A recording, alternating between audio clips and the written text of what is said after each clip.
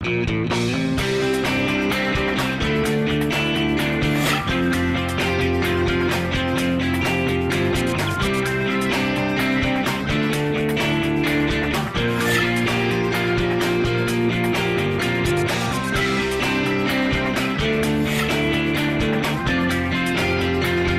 Hi, I'm Avery Davidson. Thank you for joining us for This Week in Louisiana Agriculture, the only TV show bringing Louisiana farmers and consumers together every week. My partner, Kristen Oaks White, is on assignment.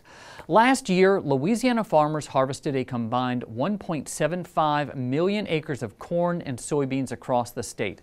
According to the LSU AgCenter 2016 Ag Summary, those acres brought in more than 145 million bushels of grain to the market. However, as TWILA's Karl Wiggers shows us, conditions at ports along the Mississippi River made delivery of that grain more difficult.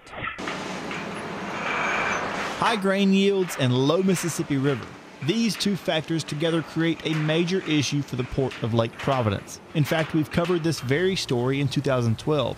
So why are we still having this problem five years later? This is not an issue that just popped up this year.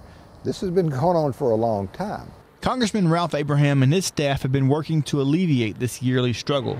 They are working with the people who work at this port year after year, like John Martin of Terrell River Service. Whenever we have high water flows, the water comes down through a Stack Island chute and it deposits sand in the middle of the Lake Providence Harbor that sand has to be dredged out each year prior to low water. That dredge arrived too late this year. The, the timing could not be worse. We've got containers of soybeans that are there, ready to be loaded onto the barges.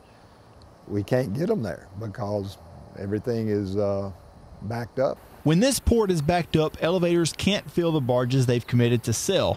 Martin says if that continues, it could be a big problem for future business in the harbor. If the barge lines sell freight to these guys, but then in turn they cannot get their barges out to move them to the Gulf, they no longer want to come in and do business with the elevators that are located here at the port. According to Martin and Abraham, this scenario would mean bad news for Northeast Louisiana farmers. As far as, as the farmer goes, this port is vital to them. $250 million worth of grain go out of there on a yearly basis. Our farmers have done their job getting the grain to the port. The port will do its job loading the grain on. The court needs to do their job and allow us to get those barges out into the main channel. Our job in Congress is to make this work long term so that we don't repeat this every year. From Lake Providence, I'm Karl Wiggers with This Week in Louisiana Agriculture. With river levels on the rise and dredging complete, the problems in the Lake Providence Harbor are, well, no longer problems, at least for now. The new goal is for Martin, Congressman Abraham, and all of the stakeholders to come together and find a better solution to alleviate these issues before next year.